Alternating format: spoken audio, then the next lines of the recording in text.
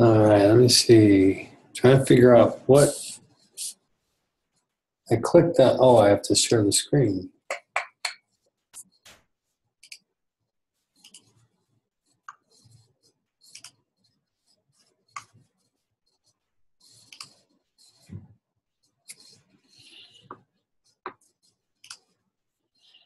By the way, there was an announcement that I posted today. Hopefully, everybody saw it.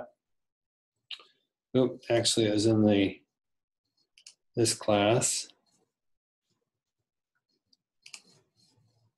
Hopefully, I posted at the right thing here.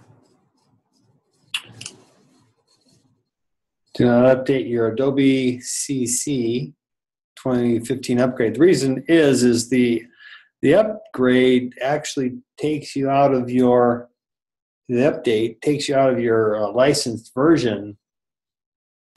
And um, it'll put you into the trial version. So we don't want that. So we're trying to sort it out figure out what's going on.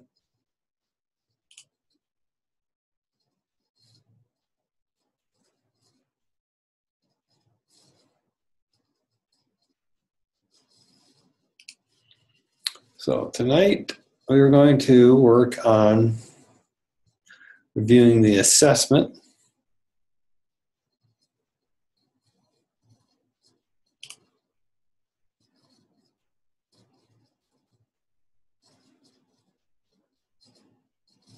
You carry around blind spots that might make you emphasize the wrong things in your portfolio or pursue work in an area that isn't your best. What do you think about that, Lisa?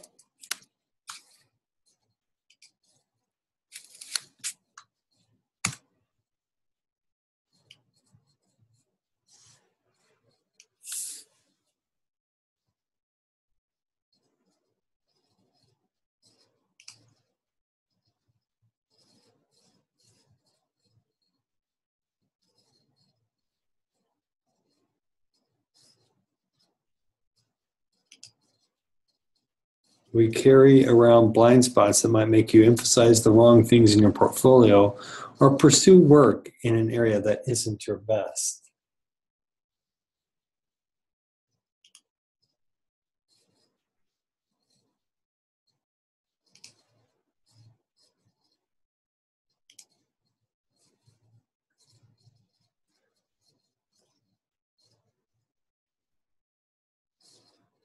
Okay, so um, so how do we deal with blind spots and and what's the best way? Well, obviously, doing a self assessment is a good thing to do. But getting feedback and trusting that feedback.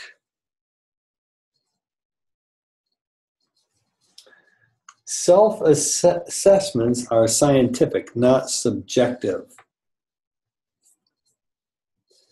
What this means is when you do a self assessment,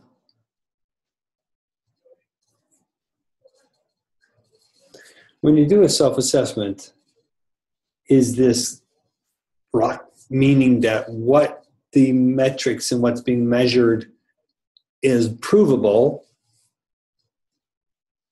or does it mean that we kind of have an opinion? It's basically our opinion of reality.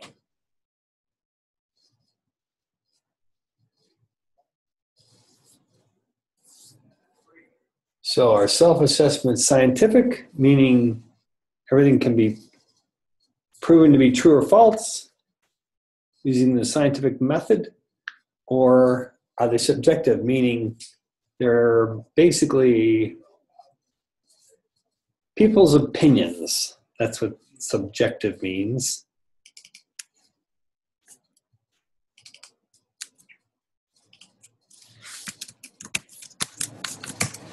Scientific is defined as based on or characterized by the methods and principles of science. And subjective means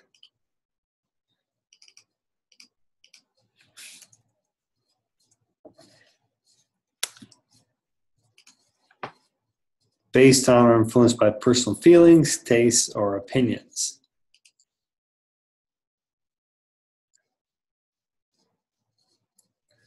Let's look at question three. In general, solid experience is more valuable than training and can balance some gaps in formal education.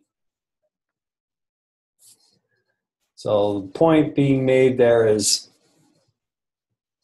can you learn anything on your job that you wouldn't learn in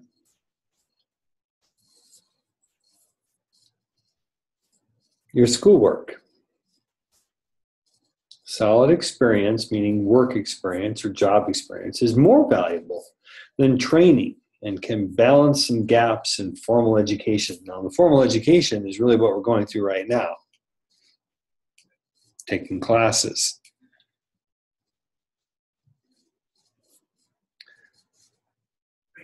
And training, again, you're just sitting, receiving instruction, Whereas solid experience, the requirement there is that you are doing work and solving problems.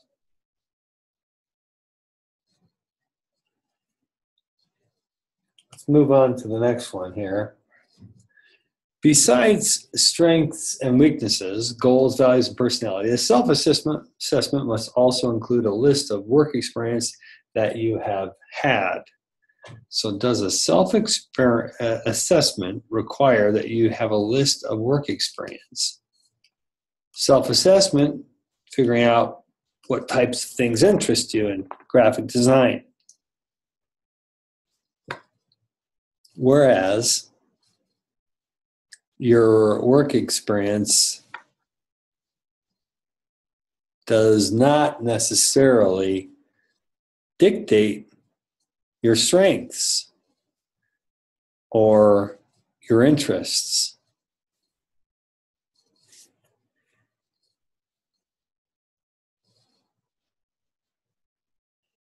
Let's move on to question five. There's no ideal number of pieces to add to your portfolio, but whatever it might be, people overwhelmingly err on the side of too little. So, is that a true statement? Is there an ideal number of pieces to add to your portfolio? Whatever it might be, people overwhelmingly err on the side of too little. Do we truly believe that people overwhelmingly err on the side of too little? When you look at portfolios, is your mainly your first impression of wow, there's not much here to look at.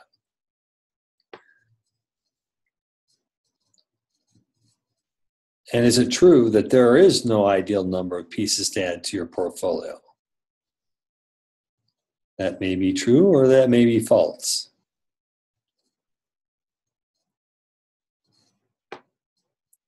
The basic question is do you mainly experience too little portfolios that have too little?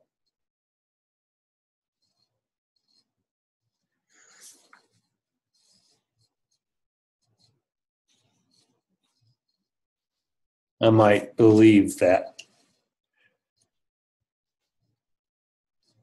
There may not be an ideal number of pieces, but I don't know that I believe that the main problem is too little in general.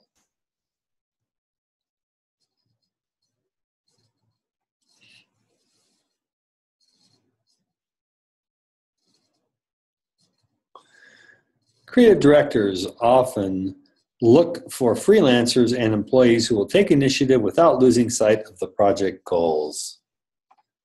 Freelancers, meaning contract people that they hire, not permanently.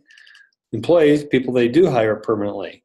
Is it good to take initiative without losing sight of the project goals? What that means is taking initiative means trying something out that may not have been told or outlined exactly. Is that a good thing? And if so, then this would be a true statement. How about number seven?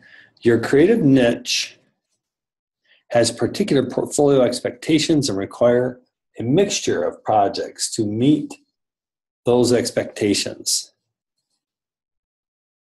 So what that means is, depending on the area that you go into in graphic design, that will dictate particular expectations of your portfolio. For example, if you're going to become an, an animation designer, then they're going to expect to see animations.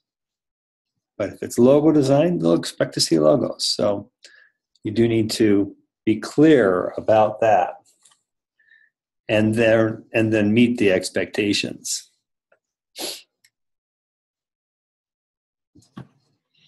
If your pieces are too diverse in medium, look, subject, or clientele, they can imply that you haven't yet figured out what you do best and that you have to yet to find your creative voice. Have you ever, uh, obviously, our, our education here puts you through a lot of different classes. So we're going to have to start narrowing down on what is a focus. And that's exactly the purpose of, of this class. So that we narrow it down, we can then isolate that and focus on that. Um, so if you're if you're too diverse, diverse means scattered. It's better to be focused. For some designer professions, an identifiable style is nothing short of a requirement. What that means is if you choose an area of design, you will have to figure out particular style in that area, that particular area of design that that is your style.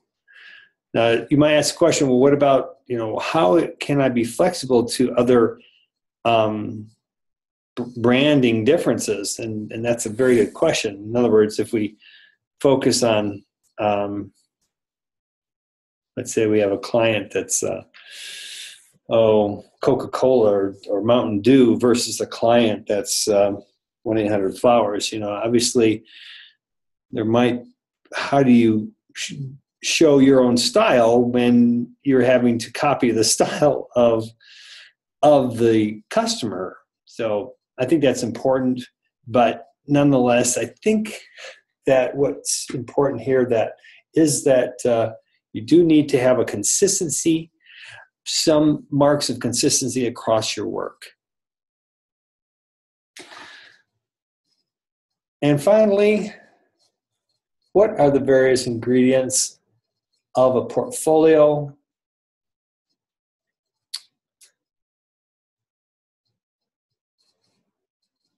Hold on.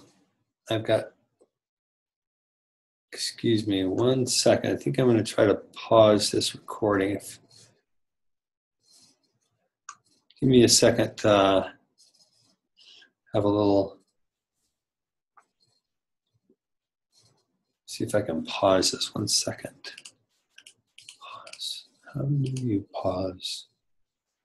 Let's see.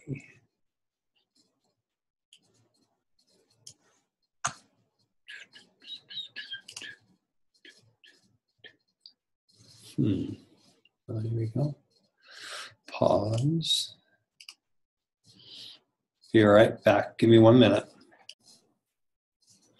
All right, so let's see, where were we?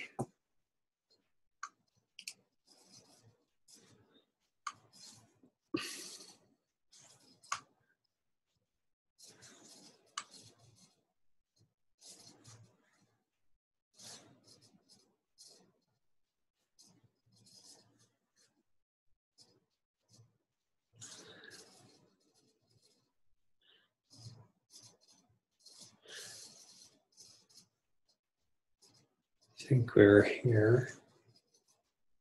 Um,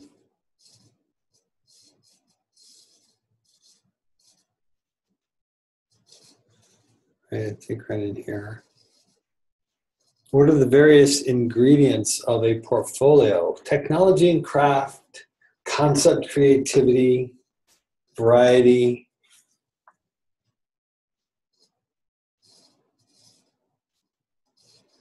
make sure it's recording. You know, I think it's probably recording this screen. Maybe it's this screen. Oh, can you see my screen okay? Can you see the test right here on my screen?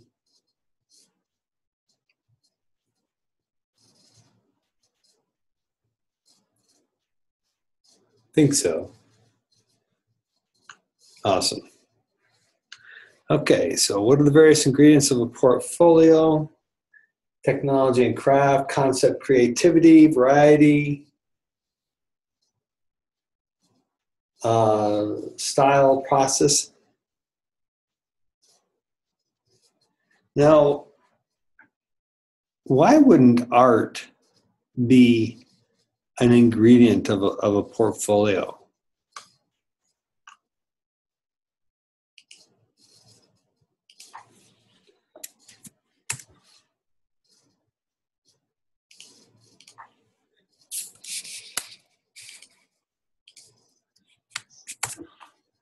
I'm just going to double check the answer key because um,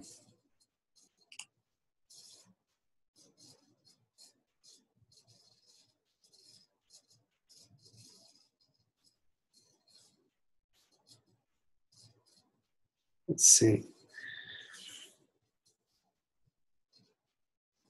Modules. I'm going to double check this uh, book just to make sure that what's here correlates with what's in our book.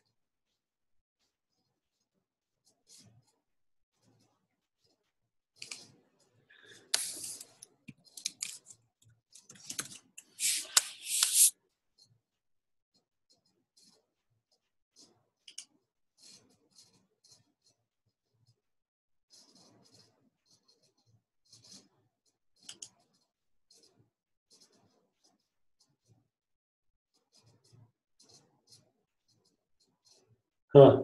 Well, I'm kind of not seeing where that is really holding out because the answer key leaves out art and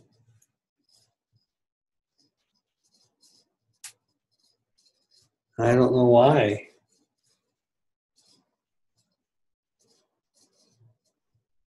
Well, that's a tip for you. The answer key leaves out art, and, and I actually don't know why. Couldn't find it.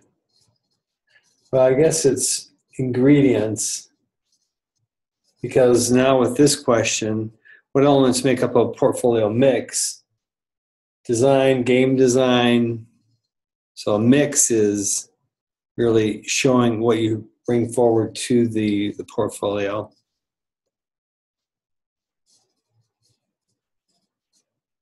Two D graphics, motion, and interaction.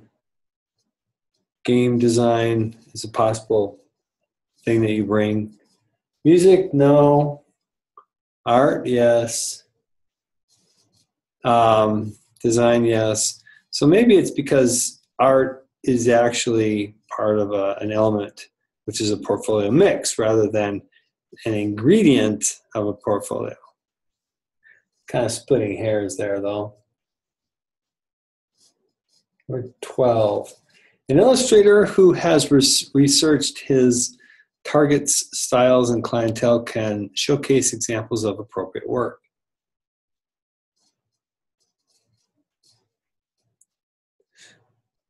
That's a question I had before but I, I, don't know if this is the same thing question I had whether or not a an illustrator who works and creates work based upon uh, client styles uh,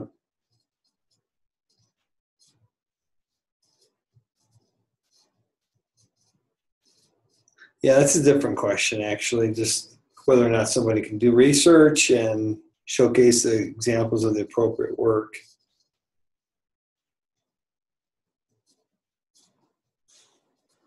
which of the following is the correct order of stages in researching your target audience. So what you have to do is choose the order here. So um, what order do these steps come in? Doing the basic market research, finding your target audience category, so basic and then target the audience category. Select specific companies once you figure out the target audience, audience category, and then research the best way to present yourself.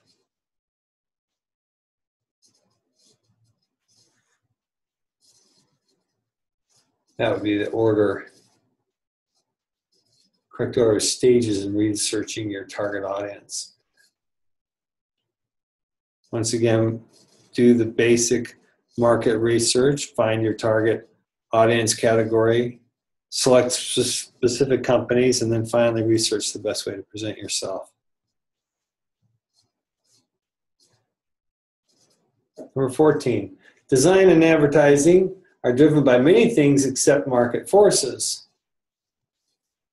Wow, that's pretty obvious. Huh. Market forces are what dictate design and advertising. Number 15. When you have isolated your target audience category, you should have 10 or less companies. That's something that's in the target in the uh, textbook, but it's not necessarily 10 or less.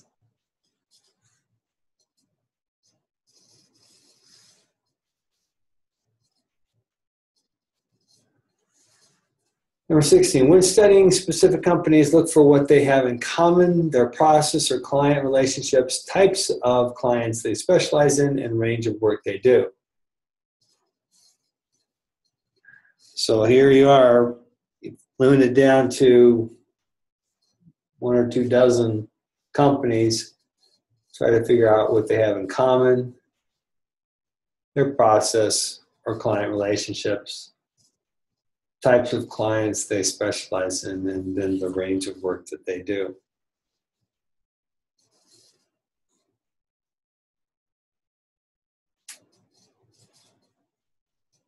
Word of mouth information from personal and local contacts is the most precious and useful source, particularly to find out if the company offers a solid work opportunity.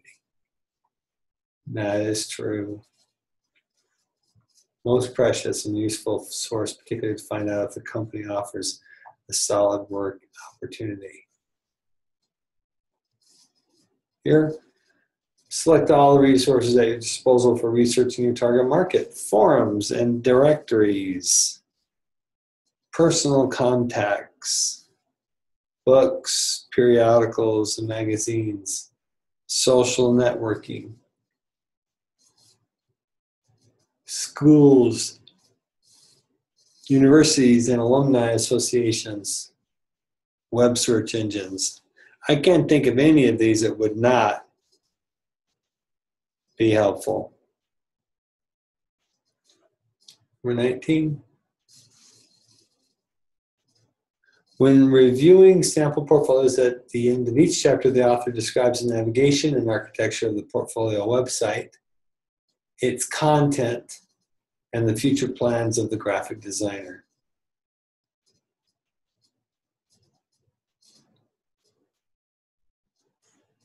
Navigation and architecture of the portfolio website. Navigation means how do you click around.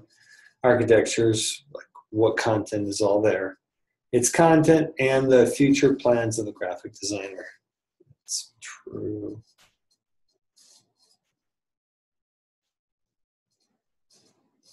Next question. An electronic portfolio can be packaged in a variety of ways depending on your needs, knowledge, and time constraints.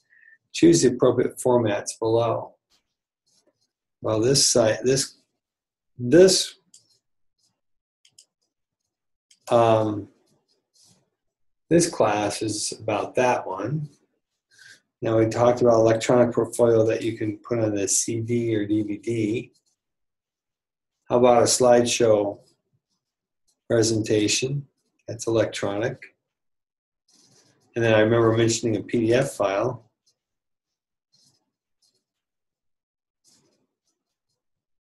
Remember it's saying electronic. Okay. 21.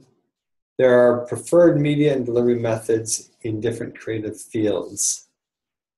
Preferred media, in other words, in other words, what type of media is most suitable? Delivery methods, how does it get delivered in different creative fields?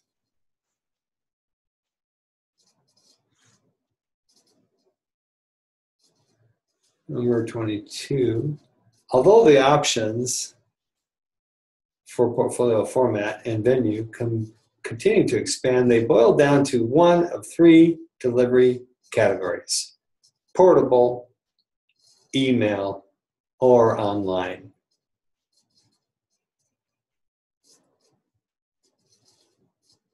So those are the three delivery categories, and that refers to up here delivery methods. And so same thing down here. And depending on the one you choose, will obviously end up dictating exactly the what delivery category you're in.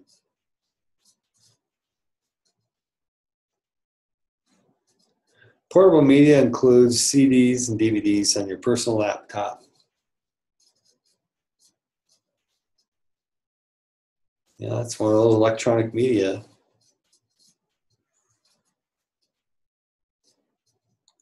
24. Distributing files electronically can occur using email and attaching the file using a file transfer protocol or FTP site. Using Dropbox.com, something I use, and using a link to an online website.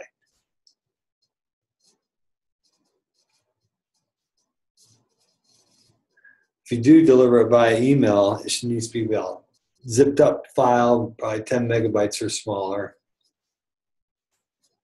So that would be via email or FTP site. That's not too common, I guess, but it does get over the 10 megabyte limit.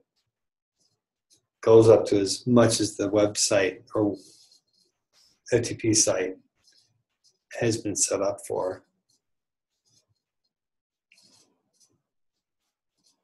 Or you can stage it on your maybe a zip file and load it on Dropbox.com and grab the link, share that, or just using a link to an online website. That's what we're going to focus on in this class. And finally, 25, your online portfolio can be published through which of the following methods? On a blog? Sure. Social networking site? Yeah, I guess so. Maybe like Facebook page or maybe a particular um, blog or something. Hosted gallery presentations, definitely. Google search engine, well, Google search engine isn't really something you would use to publish. It's actually what you would use to looking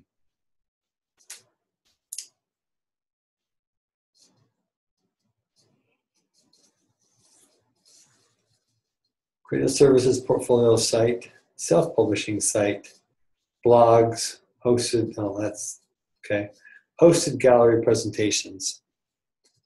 All these are pertinent, but the Google search engine is how you go looking for them. It's not how you would be publishing it. But the rest are definite possibilities. All right. Well, thank you very much, uh, Lisa, again for showing up. I appreciate it. I'll go ahead and uh, upload this file later on tonight. And if you have any questions, let me know. Thanks, good. Good night.